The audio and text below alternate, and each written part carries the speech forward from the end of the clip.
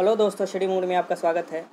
पैंसठवीं बीपीएससी प्रारंभिक परीक्षा आपका नोटिफिकेशन आ चुका है और बहुत जल्द एक दो दिन में आप फॉर्म भी अप्लाई करने लगेंगे, ठीक?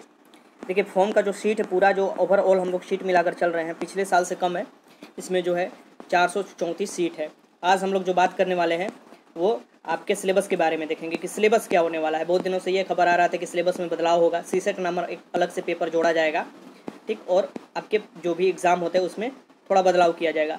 लेकिन वैसा कुछ हुआ नहीं क्योंकि आगे बिहार का चुनाव है और ऐसा जल्दीबाजी में चेंज करना पॉसिबल नहीं है। अब हम लोग देख लेते हैं कि प्रारंभिक परीक्षा का क्या सिलेबस होता है और प्रारंभिक परीक्षा जो अभी फॉर्म भरिएगा तो उसमें क्या क्या मुख्य बात को ध्यान में रखिएगा, ये भी आपको जानना ज़रूरी है। ठीक, जल्दीबाजी में लोग फॉर्म तो भर देते हैं, अगर गलत कर देते हैं तो वो बाद में जाकर छठी जाते हैं, ठीक? तो यहाँ देखिए प्रारंभिक परीक्षा का जो सिलेबस है, इसमें साफ़ साफ़ दिया है कि डेढ़ सौ क्वेश्चन जो कि डेढ़ सौ क्वेश्चन होते भी हैं और ये ऑब्जेक्टिव टाइप के होंगे, बहुविकल्पीय क्वेश्चन होंगे। ठीक? और इसमें से एक विकल्प आपको चूज़ करना होता है, और ये होंगे। और जो निगेटिव मार्किंग के बारे में कुछ नहीं दिया है तो निगेटिव मार्किंग नहीं है, जो पिछले बार से ही ये एग्ज़ाम लिया जाएगा, जैसे पिछले बार लिया गया था। इसमें देखिए, प्रारंभिक परीक्षा में सामान्य विज्ञान, राष्ट्रीय अंतर्राष्ट्रीय महत्व के सामाजिक घटनाएँ, जिसे करेंट अफेयर बोलते हैं, भारत का इतिहास तथा बिहार का इतिहास की प्रमुख विशेषताएँ क्या है? सामान्य भूगोल, बिहार के प्रमुख भौगोलिक प्रभाग तथा यहाँ के महत्वपूर्ण नदियाँ। ये सब आपका सिलेबस है जीएस का जो फ़र्स्ट ये है, डेढ़ सौ वाला में यही सब आएगा। राज्य व्यवस्था आएगा, जो पॉलिटिकल साइंस है, अगर वो कर कवर करना है तो या तो ट्वेल्थ तक एन पढ़ लीजिए, या एकमात्र बुक लक्ष्मीकांत है, वो पढ़ लीजिए। साथ में हम लोग क्वेश्चन भी देखेंगे, अब से स्टार्ट हो जाएगा आपका। आज़ादी के पश्चात बिहार के अर्थव्यवस्था के प्रमुख परिवर्तन, अभी जो लेटेस्ट अर्थव्यवस्था में जैसे अभी बजट पास हुआ है, अभी बजट से डायरेक्ट क्वेश्चन आएगा। पाँच छः क्वेश्चन तो बजट से ही निकाल कर आ जाते हैं, बिहार पर क्या उसका प्रभाव पड़ेगा? ठीक या बिहार के भी बजट जब पेश होता है, बिहार के बजट से भी क्वेश्चन आता है। ठीक, इस बात को ध्यान में रखिएगा, ये इकोनॉमिक्स पोर्सन और करंट अफेयर मिला कर दिया जाता है यहाँ पर। और कुछ मैथ और जो मानसिक योग्यता रीजनिंग से मिलाकर लगभग दस क्वेश्चन दिए जाते हैं। तो यहाँ पर देखिए साफ़ साफ़ दिया हुआ है बिहार के योगदान और सामान्य, यहाँ पर देखिए, सामान्य मानसिक योग्यता जांचने के लिए प्रश्न होंगे। इस बात को ध्यान में रखिएगा, ठीक? अब प्रारंभिक परीक्षा जैसे ही, प्रारंभिक परीक्षा के लिए जैसे फॉर्म आप डालिएगा, अभी फॉर्म डालिएगा तो उसमें एक चीज़ आपको चूज़ करना है। ये तो है कि इतना मिनिमम मार्क्स लाना है, आप देख सकते हैं, चालीस परसेंट सामान्य वर्ग के लिए। पिछड़े वर्ग के लिए छत्तीस पॉइंट पाँच परसेंट, अत्यंत पिछड़ा वर्ग, जिसे ईबीसी बोला जाता है, चौंतीस परसेंट चाहिए। अनुसूचित जाति, अनुसूचित अनुसूचित जनजाति, महिलाओं और निशक्ता से ग्रस्त दिव्यांग, जिसे हम हैंडीकेप्ड उम्मीदवारों के लिए बत्तीस परसेंट अर्हताएँ प्राप्त करना अनिवार्य होगा। मीन्स कि आपके बत्तीस परसेंट लाना, इनको लाना ही है, उसके बाद ही कटअप बनेगा। ठीक तो ये कम से कम मिनिमम है, जो इससे कम लाता है, वो सीधे आपको आउट हो जाता है, इनका तो काम खत्म हो जाता है। अब हम लोग बात कर लेते हैं कि इसका क्या होता है। अब ये क्या है, जो आपका ऑप्शनल विषय है। ये ऑप्शनल विषय, सोच समझकर अभी फॉर्म भरिएगा तो उसमें ध्यान से चूज़ कीजिएगा। हर एक एक चीज़ भरिएगा तो ध्यान से, ठीक? ये जो ऑप्शनल विषय आप भरिएगा, ये ज़रूरी नहीं है कि आपके ग्रेजुएशन वाला ही विषय भरना है। आपको जिस विषय में ज़्यादा नॉलेज है, अच्छे से वो पढ़ पाते हैं, अच्छे से आप तैयारी करे हैं उसके तो वो आप भर सकते हैं। ठीक, मात्र आपको परीक्षा में क्या होना चाहिए कि आपको जो एजुकेशन अपना क्वालिफिकेशन होना चाहिए, वो ग्रेजुएशन होना चाहिए। इसमें से आपको एक वैकल्पिक विषय चुनना है और वो वैकल्पिक विषय, वो फिर बदलाव नहीं किया जाएगा। मुख्य परीक्षा, जैसे फिल्म्स के लिए पास हो जाएँगे तो मुख्य परीक्षा के लिए भी फॉर्म भराया जाता है।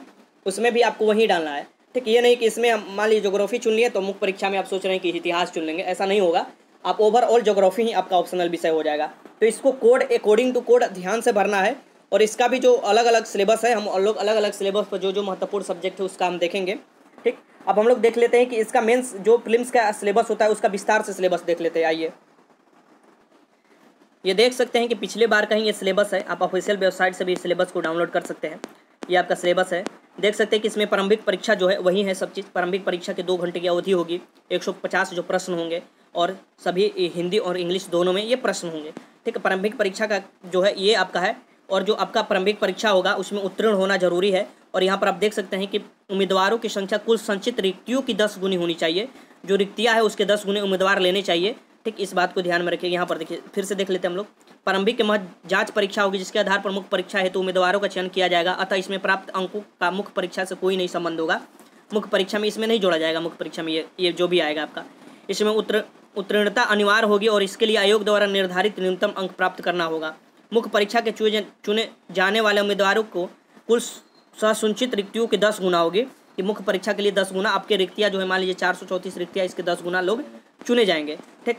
अब आता है कि मुख्य परीक्षा क्या होगी? तो मुख्य परीक्षा में तीन पेपर होते हैं, सामान्य हिंदी के पेपर होते हैं, जो कि क्वालिफाई पेपर होते हैं, ठीक? इसका मार्क्स नहीं जुटता है। फिर एक समान अध्ययन का पत्र होता है, जिसमें तीन सौ अंक का होता है, और ये तीन घंटे को होते हैं। समान अध्ययन के पत्र दो होते हैं, इसमें भी आपको क्या होता है, तीन सौ अंकों का होता है, ये भी तीन घंटे को होते हैं। इनका मार्क्स जुटता है। और आपको क्या है, यहाँ पर देखिए आपको हिंदी में तीस परसेंट लाना अनिवार्य है। हिंदी में अगर तीस परसेंट से कम आता है तो आपका मुख्य परीक्षा का कोई भी को पेपर जाँच नहीं होता है। पहले हिंदी में देखा जाता है पास हो गए, तभी अगला पेपर आपका जाँच होता है।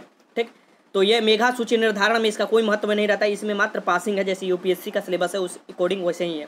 देखिए अच्छे विषय नामक लगभग वही होगा जो पटना विश्वविद्यालय के तीन वर्षीय ऑनर्स पेश है जो भी अपना ऑप्शनल सब्जेक्ट लीजिएगा, वो पटना का जो, पटना विश्वविद्यालय का सिलेबस है, वही सिलेबस आपका यही ये भी रहेगा। ठीक? तीन वर्षीय जो सिलेबस होता है। तो ये एक्सिक विषय आपको ध्यान से चुनना है। एक्सिक विषय में भी देखिए एक्सिक विषय का एक ही पेपर होगा, ठीक? और उसका तीन सौ अंक होगा। एक्सिक विषय का एक पेपर होगा, तीन सौ अंक होगा, इसको ध्यान में रखिएगा। और जो यहाँ पर देख सकते हैं एक्सिक विषय का इसमें भी कोड दिया हुआ है और उसमें भी दिया हुआ था, ठीक? अब हम लोग देख लेते हैं प्रारंभिक जो यहाँ पर एक लास्ट होता है कि आपका इंटरव्यू होता है, व्यक्तिगत परीक्षण होता है, ये 120 अंकों का होता है। पिछले बार का हम लोग देख रहे हैं। ये पिछले बार का सिलेबस है। तो सिलेबस वही है। प्रारंभिक परीक्षा के लिए सिलेबस वही है और मुख्य परीक्षा के लिए भी वही है। ठीक तो जो यहाँ पर आप देख सकते हैं ध्यान से कि जो भी करेंट अफेयर है, भूगोल है, अंतर्राष्ट्रीय महत्व से जो सामाजिक घटनाएँ है भारत का इतिहास है, और ये सब आपका सिलेबस में, सामान्य भूगोल का भी ये देख सकते हैं कि बिहार और आपका बिहार का बॉर्डर वाला पूछ देता है कि पटना, पिछले बार पूछा था कि पटना से लगे हुए कितने स्टेट हैं, बल्कि डिस्ट्रिक्ट है, पटना डिस्ट्रिक्ट से लगे हुए कितने डिस्ट्रिक्ट हैं, ये पूछा था। ठीक, ऐसे ऐसे क्वेश्चन बन जाते हैं कि मान लीजिए पूछ देगा कि बिहार का कितना डिस्ट्रिक्ट है जो नेपाल से टच करता है, नेपाल जो है उससे टच करता है, ये भी क्वेश्चन बन सकता है तो ऐसे ऐसे क्वेश्चन आते हैं, ठीक? समान मानसिक योग्यता जैसे साइंस का क्वेश्चन भी आता है, जो कि टेंथ लेवल तक आता है एनसीईआरटी पढ़े हुए टेंथ लेवल तक, आराम से क्वेश्चन कर लीजिएगा। बाकी हम लोग क्वेश्चन देखेंगे, ठीक? बाकी मुख्य परीक्षा, जब मुख्य परीक्षा होगा, उसमें हम लोग देखेंगे, देखिए मुख्य परीक्षा का अलग अलग पेपर जो है, वो अलग अलग पेपर में है। देखिए, जैसे सामान्य हिंदी के पेपर में जो है, जो क्वालिफाई है, निबंध तीस मार्क्स का आएगा, व्याकरण आपके तीस मार्क्स के आएँगे, और यहाँ पर देखिए, ये वाक्य विन्यास जो आएँगे, वो पच्चीस नंबर के आएँगे, और संक्षेपण जो आएँगे, पंद्रह नंबर के आएँगे। ये टोटल मिलाकर आपका हो जाता है सौ नंबर। और सौ नंबर का ये हो जाता है, इसमें आपको लाना क्वालिफाई करना ज़रूरी है। और ये सब आपका अब जुटने वाला मार्क्स है। ये समान अध्ययन का जो भी है, ये जुटने वाला मार्क्स है। समान अध्ययन के जो फ़र्स्ट पेपर होगा, उसमें भारत के आधुनिक इतिहास और भारत की संस्कृति, राष्ट्रीय तथा अंतर्राष्ट्रीय महत्व की घटनाएँ आएँगे। और संख्यांकी विश्लेषण, आरक्षण, जैसे कि आपको स्टेटिक्स पोर्सन से लगभग पचहत्तर क्वेश्चन पूछे जाते हैं, जो कि आप ये आप बोलते हैं संख्यांकी से आपके क्वेश्चन बनते हैं। मैथ से ये क्वेश्चन है। यहाँ से आप देख सकते हैं कि पैराग्राफ, ग्राफ वाला क्वेश्चन पाई चार्ट वाला क्वेश्चन आता है। जो पत्र टू है, उससे भी क्वेश्चन बनते हैं भारतीय राज्य व्यवस्था, भारतीय अर्थव्यवस्था और भूगोल से।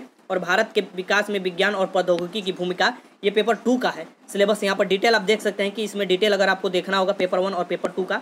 पेपर जो थर्ड होगा, उसका ऐच्छिक होगा। मान लीजिए आपका कोई ऐच्छिक विषय, जैसे कृषि का ये सिलेबस है।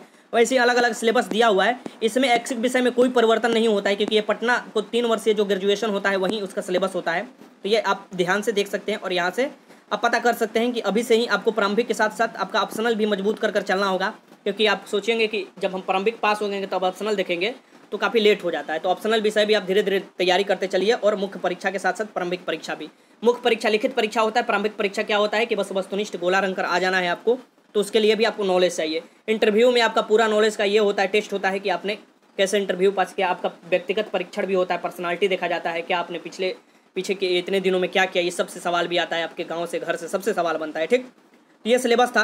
अगर सिलेबस में और भी कोई डाउट है तो ज़रूर बताइएगा, हम आपका डाउट क्लियर कर देंगे। और आपका ऑप्शनल पेपर फिर मैं बोल रहा हूँ कि जब भी फॉर्म भरिएगा ऑप्शनल ध्यान में रखकर भरिएगा, ठीक? तो वीडियो अच्छा लगा तो लाइक कीजिए शेयर कीजिए स्टडी मोल चैनल को सब्सक्राइब कीजिए, वीडियो देखने का आपका बहुत बहुत धन्यवाद।